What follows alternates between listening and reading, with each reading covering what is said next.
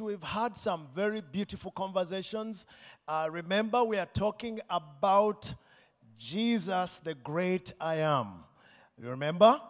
And it's been a very beautiful journey for us to go through what John tells us about Jesus describing himself, the great I am. So, uh, last week, what did we talk about last week? Does anyone remember? Jesus is who? The. Okay, let's start again. The way and Yes, and the Sunday before that, we talked about Jesus, the resurrection and the life. And then before then, we talked about Jesus, the good shepherd.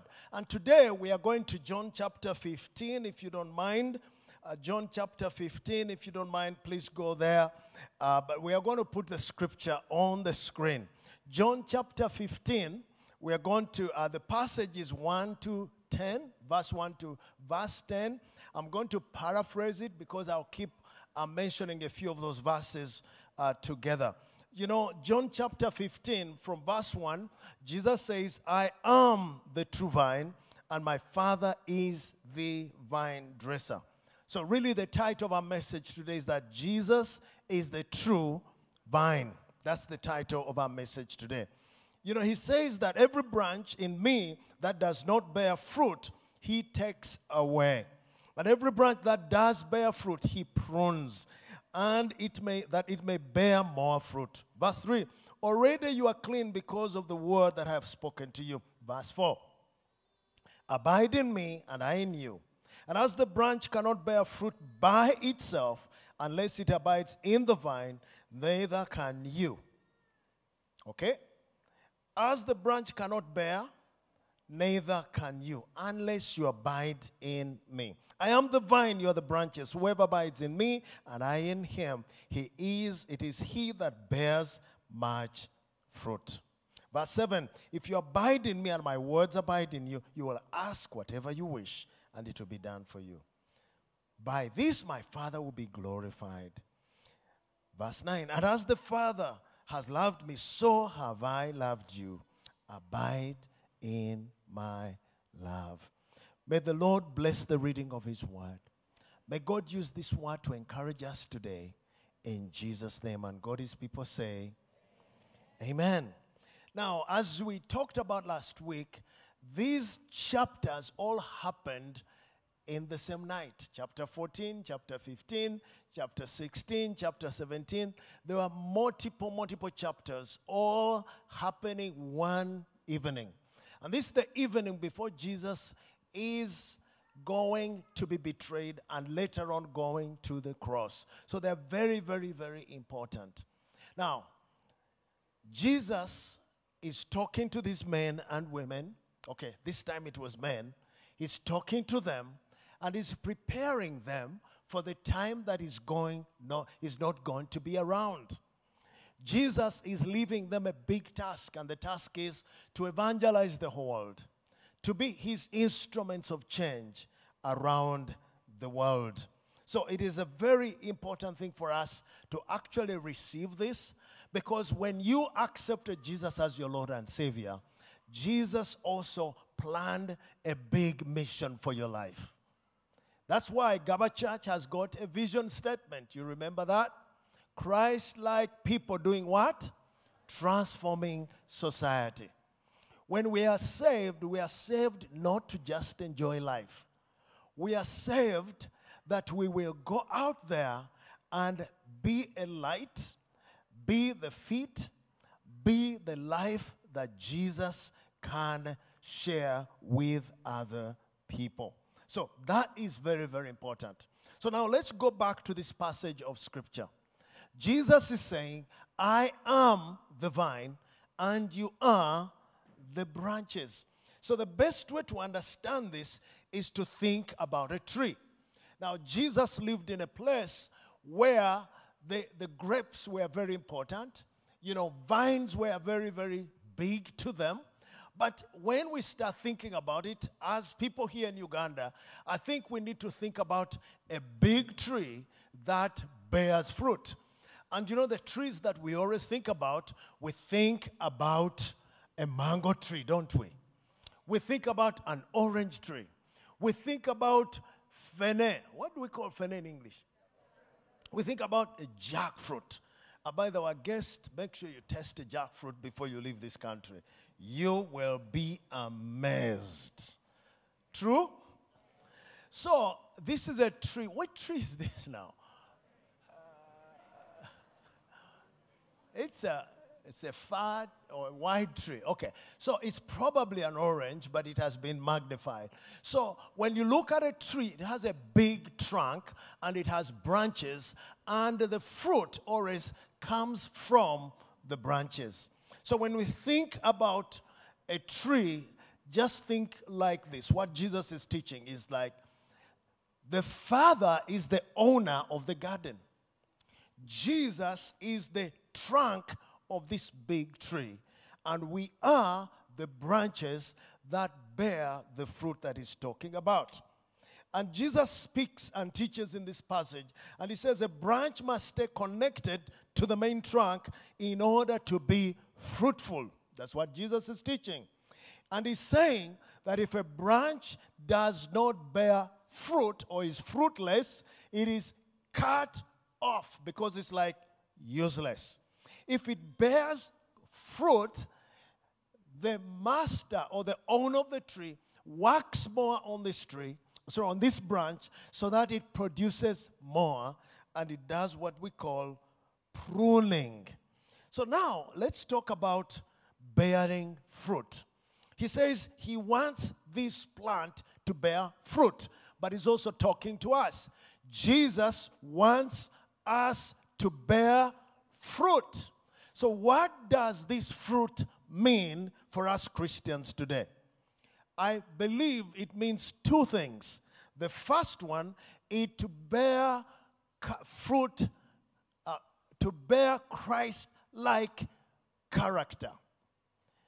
If you bear Christ like character, then you are a fruitful Christian. To become like Jesus, that's what it means. When we accept Jesus, the Holy Spirit comes inside of us and it starts doing a work in our lives. And that work starts doing stuff in us. There are things we used to do and to we used to be that are not pleasing to God. So, what God does is to challenge us to change them. And over time, when people look at us and say, oh, so and so is different. Why? Because something inside of them happened. They are changed. So we call it bearing the fruit of the Spirit. Now, the book of Galatians, chapter 5, verse 22 and 23, actually tells us the fruit that comes out of a person who actually is living and walking with Jesus. One of them, they have love. They are joyful. They are peaceful. People like that are patient. They are kind. He's, he calls the fruit goodness, faithfulness, gentleness, and self control. So when people see you, do they see the fruit of being a Christian? Do you remember the Christians in the book of Acts? They saw them and saw them and saw them, and they said, These people are like Christ. So that's why they named them Christians. So I want you to look at your neighbor and help me. Ask them, Do people see Jesus in you? Someone talked about people who are so dangerous that they're, they're like caterpillars. When they are near you, they always burn you. You know, caterpillars here burn, don't they? They burn. I hope you're not a caterpillar today because you are a child of God. Hallelujah. So, Christ like character. The other way we bear fruit is by fruitful service. So, one is the way we live, and the second, what we do as we serve the Lord Jesus Christ. Now, this passage is very important when we relate to this. Because remember, Jesus is leaving these guys And his mission for them was that the whole world will know that God is God and that Jesus is the Savior. These are 12 guys. They are simple people. Some of them were tax collectors, others were fishermen. They were not uh, well situated in normal common life. But they had a mission. The mission was to change the world. So he's saying, You are going to become my ambassadors. You are going to help me or work with me to expand my kingdom. Now, I would like you to remember that that is your mission too. When you got saved, God has a purpose for your life. God has a desire for your life. God wants you to be a blessing to your community. God wants Gaba Community Church to be a blessing to our community, to our city, to our country, to our continent, and to the rest of the world. But also, God wants that to happen to you as an individual. So, what God is saying, that I want you to be fruitful by bearing my character, but also by providing fruitful service. There's a great harvest out there. There are people, thousands of people, who need to know and to have what you have. They are always looking. And God is saying, I want you to be effective. And the only way you can is to actually be connected to me. Okay, so, and he tries to explain it so deeply. And he says it in verse 5 Whoever abides in me and I in him, it is he that bears much fruit. For apart from me, you can do nothing. Now, we are going to read this together, okay? It's, uh, it's in the New King James Version. Can we say this verse, word, uh, this uh, portion together? One, two, three. I am. And. Yes. And. For. Okay, I would like to repeat the last one. For without me, you can do nothing. Can we say together? Without me, you can do nothing. So, what Jesus was saying, I am sending you out. But what I am sending you to do, humanly, you cannot do. You cannot do. Why? I'm sending you to a very big mission. It is too big for you. You have an enemy who is so strong. If he has disturbed the Jesus, he will disturb you. I'm sending you to do something which is too costly. It will require supernatural power. It will require the wisdom of God to succeed in the endeavor that I'm calling you to do. And friends, he's saying, because I'm sending you to something that I know which is bigger than you, you need me and you can't do without me. Now, don't you see, even in living normal life, as a Christian today, is not very easy, isn't it?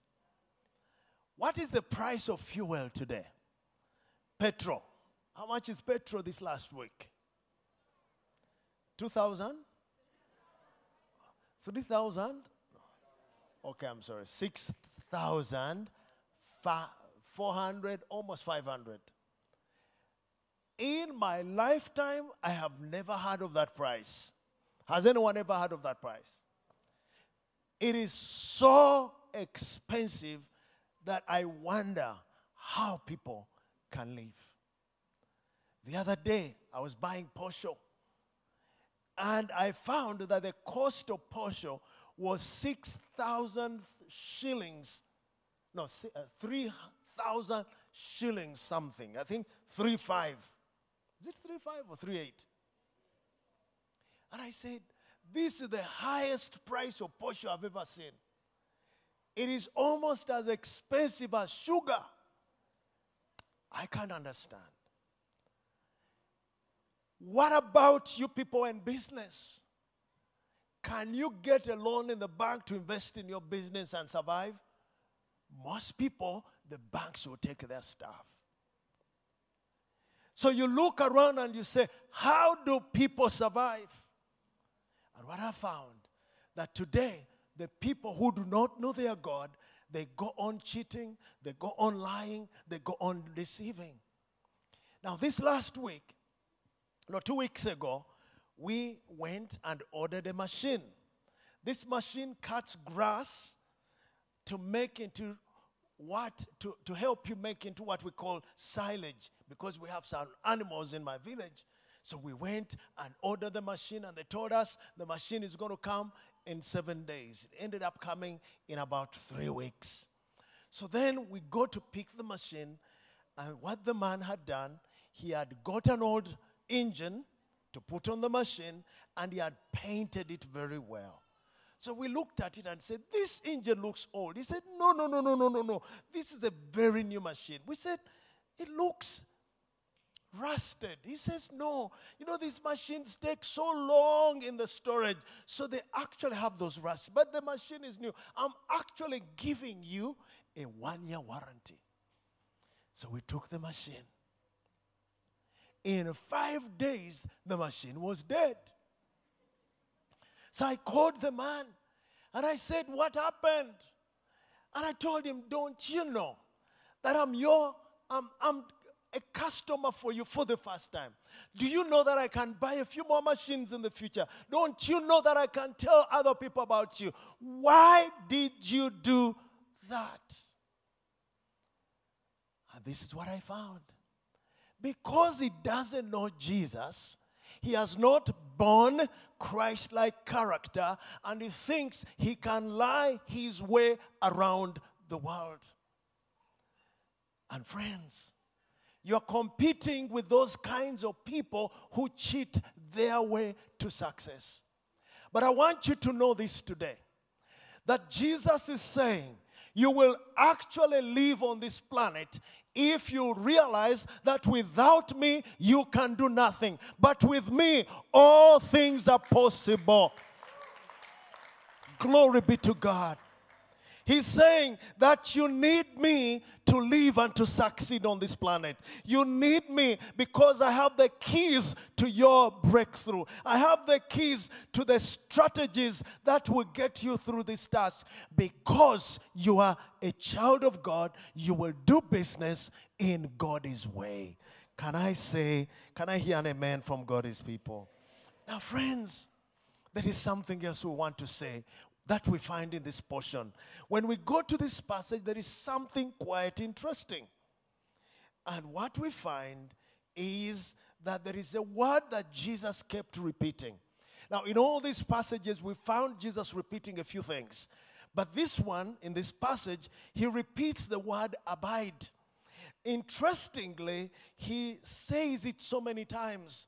He says, Abide in me in verse 4. Okay? And then he says, Unless you abide in me again in verse 4. And then he says in verse 5, Whoever abides in me. Okay? Then we go on to verse 7 If you abide in me. And then he says, And my, my words abide in you. We go to verse 9, and the Father has loved, as the Father has loved me, so I have loved you. Abide in my love.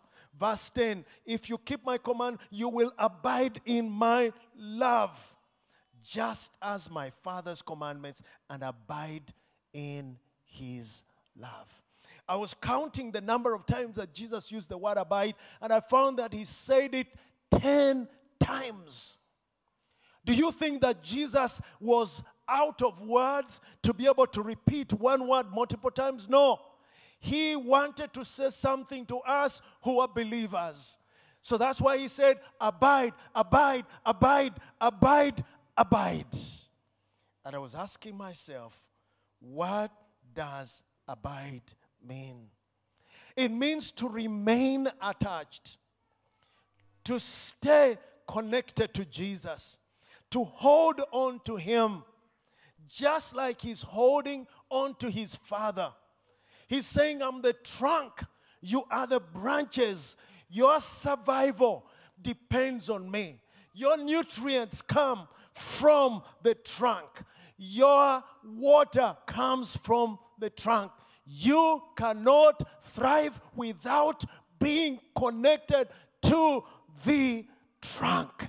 And Jesus is the trunk. So Jesus is telling these guys, I know the task is big. I know the enemy is nasty and evil. I know the cost is so high. I know the geographical size of the mission that I've called you to. And he says, You will need my wisdom. You will need my energy. You will need my provision. You will need my power. You will need my anointing to do the mission that I called you to do. So now the question is what does it mean to abide? What does it mean to abide in Jesus? What does it mean? Now, he has given us an illustration, but I was thinking about a man called John. Now, John is the writer of John, the Gospel of John, from which we get this very passage. Do you remember John? He was called John the Beloved. Wherever Jesus was, John was there. When he sat to eat, John made sure he takes the place number one. Wherever Jesus went, he was there. He was a disciple who was so close to Jesus. So, this is what I found. If you want to abide, you need, be, you need to be present where God is present. Can we say presence? Yes. Where He is, just be there. Be there. And one of the ways we do that is through prayer. What I've found is that many, many times we think that prayer is asking for things. You remember? Many, many parents, we always have kids who do that. You know, when he needs something, you see him coming or her coming. And when you get them something, they get lost. When they have another need, they always come. So their relationship is based on what you get. Can you ask your neighbor, is that you? Is that you? I hope it's not you. I hope it's not you. Because let me tell you this what Jesus was saying if you're going to get anything from me, if you're going to enjoy my relationship, you need to be where I am. So, this is what I want to request us to be. Can you become a friend of God? Can you love to be in the presence of God? And it is as simple as waking up and say, before I start my day, I need to have a conversation with the Master. And I say, Lord, thank you for this day. As I begin this day, I want to hand over everything to you today. That's, that's real prayer, by the way. Lord, I want to enjoy you today. I want to fellowship with you. And some of you drive. As you drive to the city, going to work, usually we have long, long distances or short distance with lots of traffic. As you're there, can you just keep talking to God? Can you mention some of the things that you feel about God? What about when you're out there in the office and you're alone and you're, you're just in task and you don't know what to do? Say, God, can you give me some wisdom on this? And when you get back home before you go to bed, can you just tell the, the Father and say, Oh, it has been a great day today. Thank you for all these things. Lord, I got angry with so and so, but Lord, can you please forgive me? Can you? It's like having a conversation with God. But you know, some of us are so rough on God. You come to prayer and you are so mad and wild. And uh, let me leave that for, for tomorrow. Praise be to God.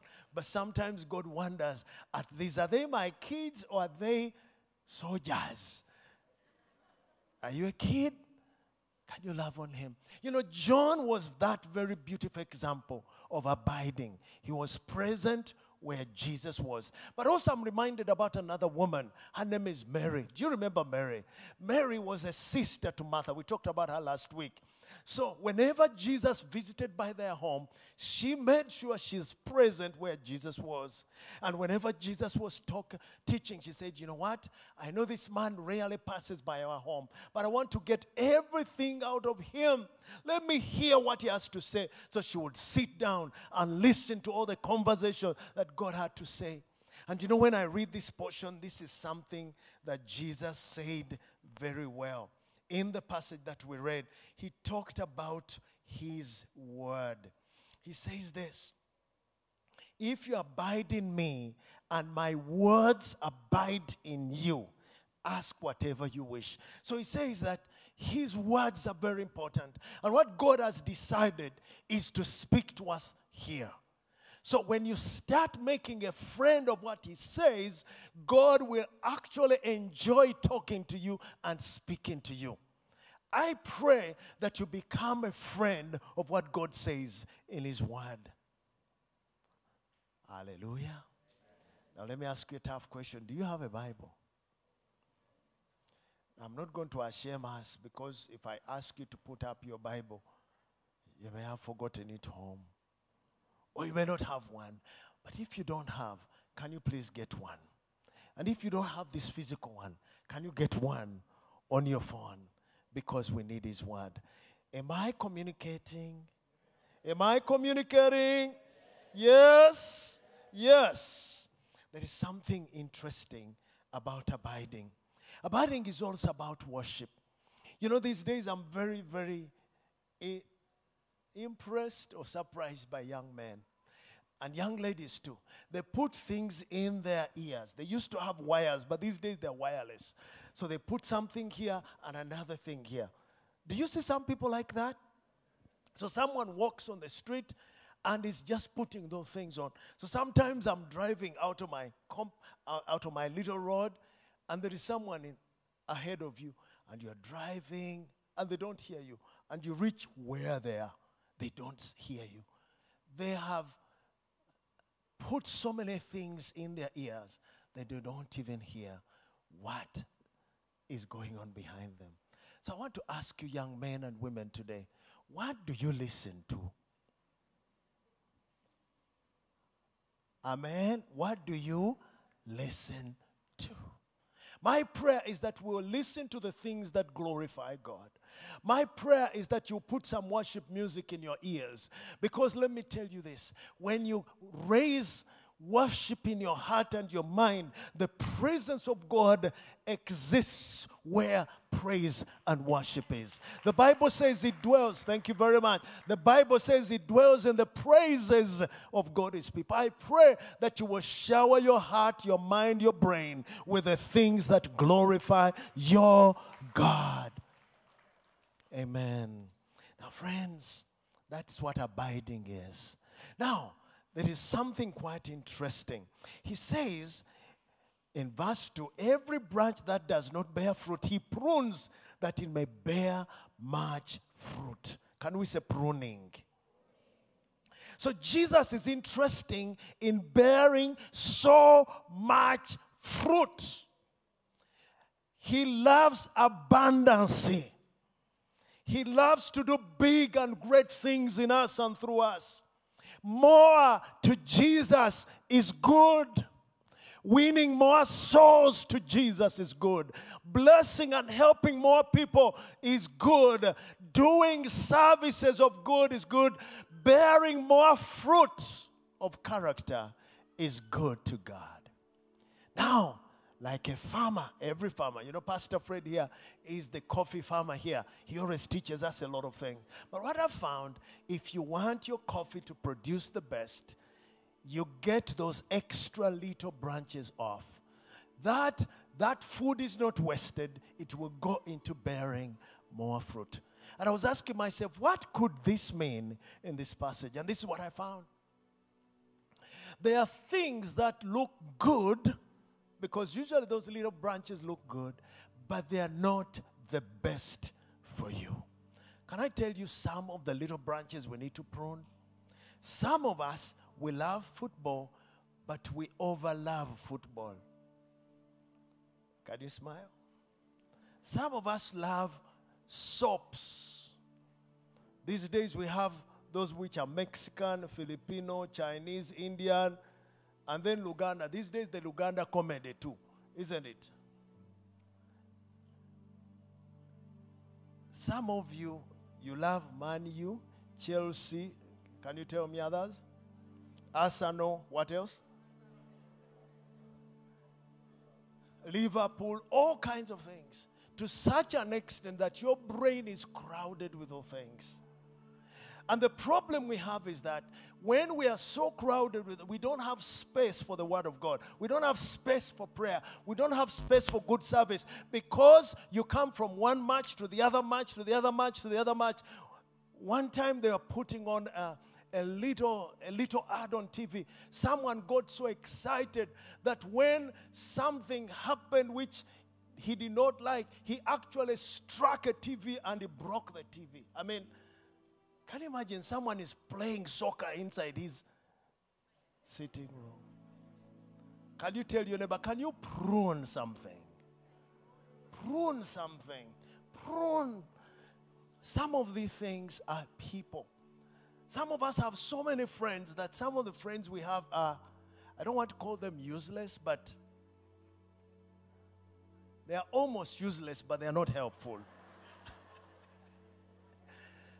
Have you had friends where they talk, talk, talk, talk, talk, they waste all your time, talk, talk, talk? Everyone is smiling because you have some of those. Now, I hope you are not that friend, okay? But you have another friend. So you may have to prune some friends. And the way you prune them, you say, you know what? You talk, but you don't overspend the time. Because you know what? You are supposed to be fruitful. You have a big mission. Can we stand up, children of God?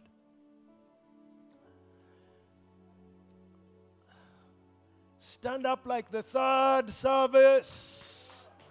Hallelujah. Now, verse 7 is where we are ending as we are going to pray right now. And this is what verse 7 says If you abide in me and my words abide in you, ask whatever you wish, it will be done for you. Now, believers, we love to ask, don't we? Amina. The problem is, this is all we do. We don't do all the other things. The very interesting thing, this was the last thing Jesus was saying. He was saying, Do you know what? If you abide in me, if you stay connected to me, ask and everything will be done. And the best way to put it is this way that prayer should not be about asking. Fellowship and being with Jesus is more important. Because before you pray, He knows what you need. Hallelujah. He's interested in those things. But he says, you know what? Can you be interested in the things I'm interested? I'm interested in my relationship with you. I'm interested in my fellowship with you. I'm interested in my mission that I'm sending you to. But these, by the ways, I can take care of them. But this is what I want you to learn about prayer. There's a young man who came to visit me not long, no, it's actually about 10 years ago he came to visit my house. I was home and someone said, So and so wants to talk to you. So I went and and he greeted me. And after greeting me, he said, Pastor, I need some help. And his help was school fees. And I smiled.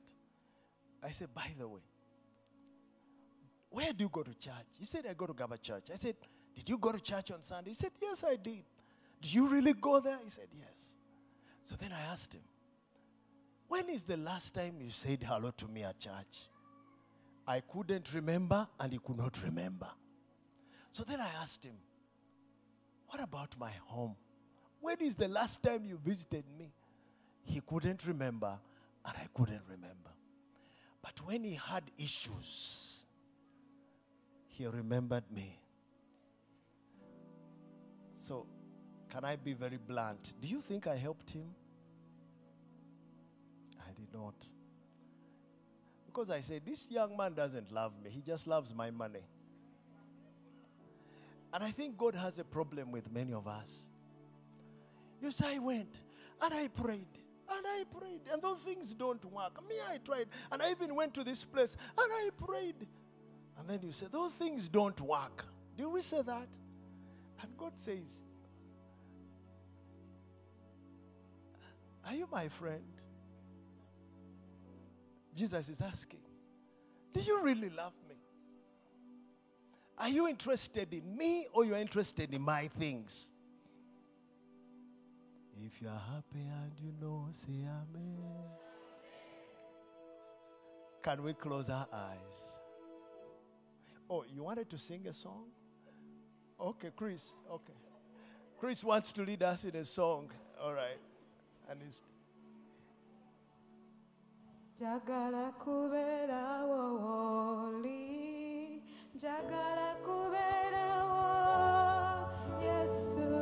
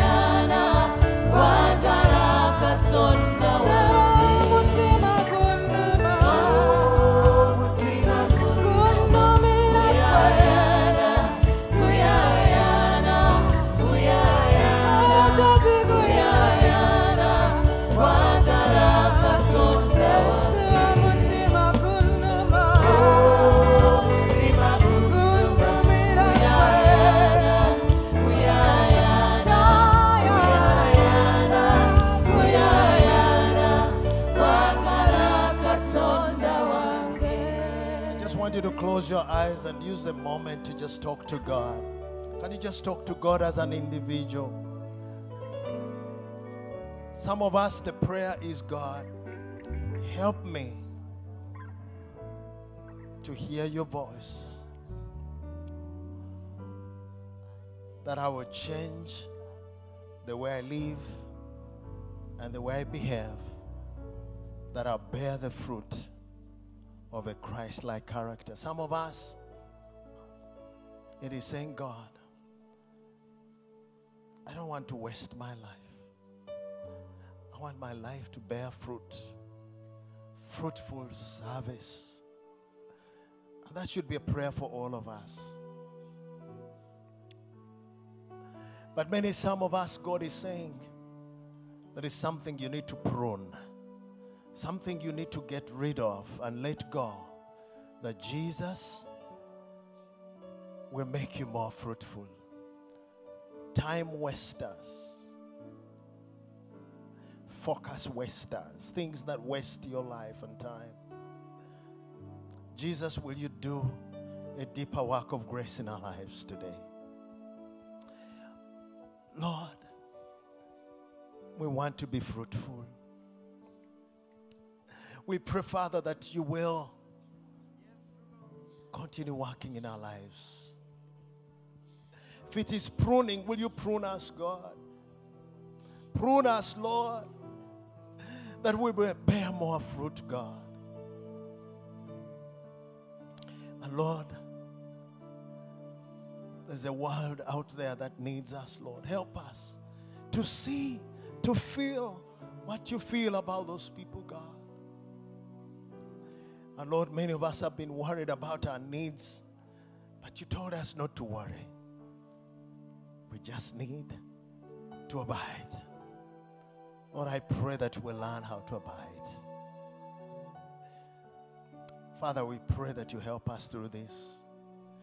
Encourage us, Lord, that this will not just stay here, but it will be a message that will change our lives and the lives of the people that we interact with. So, Lord, we thank you and we honor you in Jesus' name. And God is people say, God is people say, Amen, amen. Uh, please take your seats for a moment. Please take your seats for a moment. Uh, I want to ask a question. You may have come to Gaba Church today and you've heard this message, but you're not yet saved. You've not yet given your personal life to Jesus. He's not yet your master, He's not yet your king. And you say, Today I want Jesus to be the Lord and the master of my life. If you're there and you want Jesus to be your savior, you would like to be saved, you would like your sins to be forgiven, you would like to walk with Jesus the rest of your life. You want to bear those fruits. It starts with you saying yes to Jesus as your Lord and Savior. I did that so many years ago and it changed my life. And most of us here, we did that. We asked Jesus to be our Savior. Twalokoka. Bw'obanga oli wano nga tonnalokoka nga wandyagadde. But also, you may be here and you say, Pastor, I used to walk with Jesus. But somehow I became lazy, I became weak, I started, I've not been living the life of fruitfulness that I wanted. But today, I want to recommit my life to Jesus. So if you are one of those, just put up your hand. We want to pray as we finish this service today. You want to be saved, you want Jesus to change your life. Just put up your hand. We will pray with you. Thank you so very much. Thank you. Thank you. Thank you. Thank you. Is there someone else? If there's someone else, you say, I want Jesus. I want to change. I want him to change. If you happen to be there, just put up your hand if you, you want to join him. Thank you, sir. Thank you so much. Is there another one? Is there another one? Is there another one? Amen. Let's clap to Jesus for this guy. Thank you. Thank you. Thank you. Thank you. Amen. Now, I know that there are some people may be shy and you've not, it's hard to put up the hand. Can we just close our eyes and pray together? Can we? Let's join this gentleman. But also, if you're there and you have been shy, can you pray as you mean this? I'm going to lead this prayer. Church, can we join these guys and this, this gentleman? Can we? Can we say, Lord Jesus, I come before you today. I thank you because you are the Savior. I ask you to save me, to forgive my sins, and to change my life. Today I confess you as my Lord, my Savior, and my Master. In Jesus' name I pray. Amen. A big hand clap to Jesus. Hallelujah. Hallelujah. Um, so there are people that we gave cards, our guests, besides the American guests, but our guests who came that we gave you cards. Uh, we want one of our pastors would like to speak to you and our friend. Uh, Kathy, Kathy, can you put up your hand? So those people we gave cards and our friend who has just prayed this prayer. At the end of this service, Kathy will go up, up, up, up. We have a big room there. We call it the green room. Would like you to go. One of our pastors is going to come talk to you and tell you more about Gaba Church. Praise the Lord. So let us um, let us hear the news. Let us get to see the news, and then we'll leave this house today.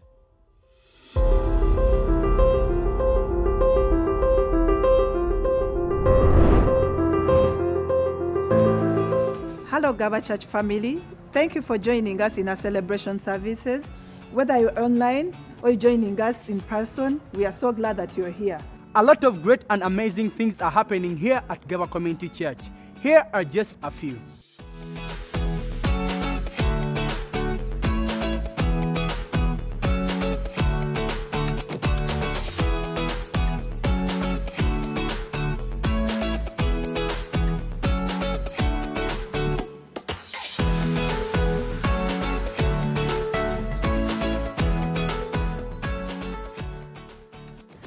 Stay connected with what is going on, follow us on our social media platforms, subscribe to our YouTube channel, and visit our website gabachurch.org. There are so many opportunities for you to grow, connect, and stay rooted in Christ. So don't do life alone. Be a part of what is happening in our fellowships and events.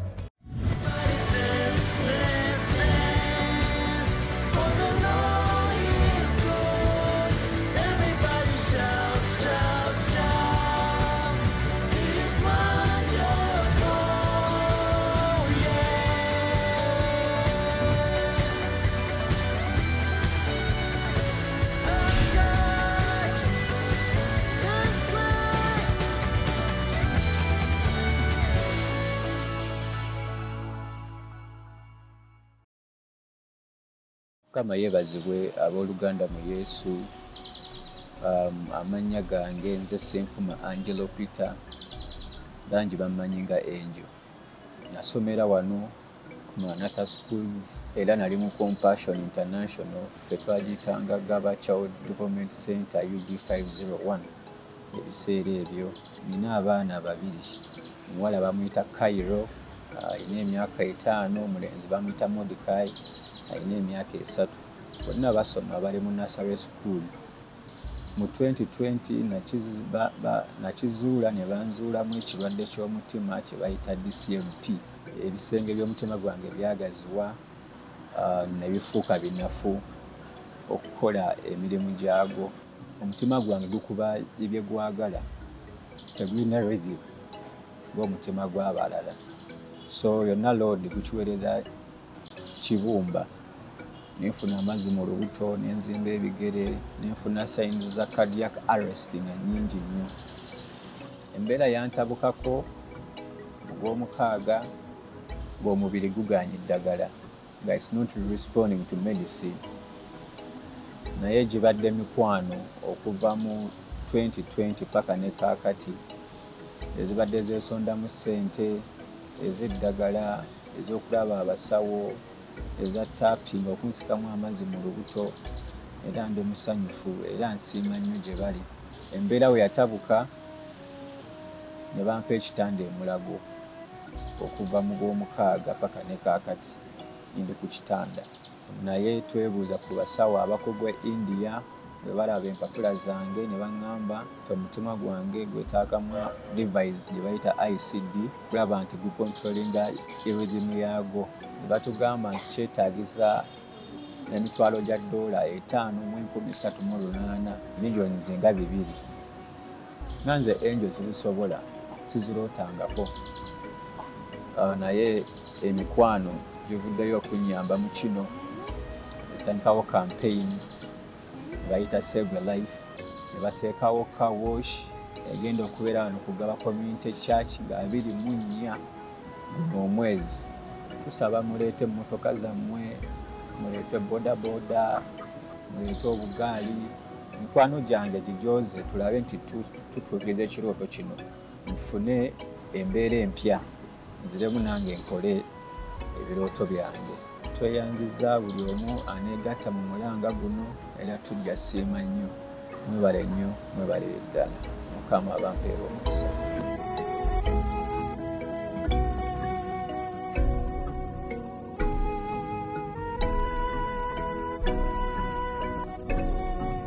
Once again, thank you so much for joining us today. We are Christ like people transforming society.